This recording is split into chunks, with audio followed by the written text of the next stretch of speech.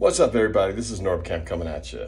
I am here at the Inn of the Mountain Gods Hotel in the casino here in Ruidoso, New Mexico.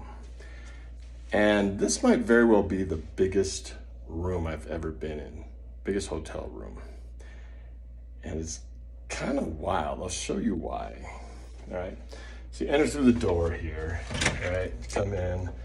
Everything looks pretty normal so far, right? But then, look at this. As you turn the corner, look how big this room is.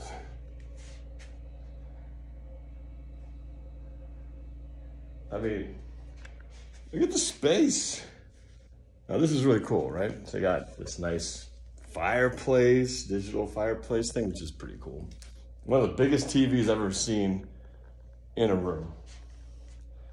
Got this little table here, but this, the amount of space between walls and the bed, what am I gonna do with all this space?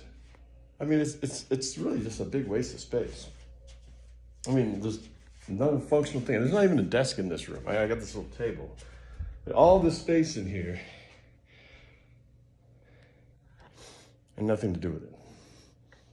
Spectacular room just off of space.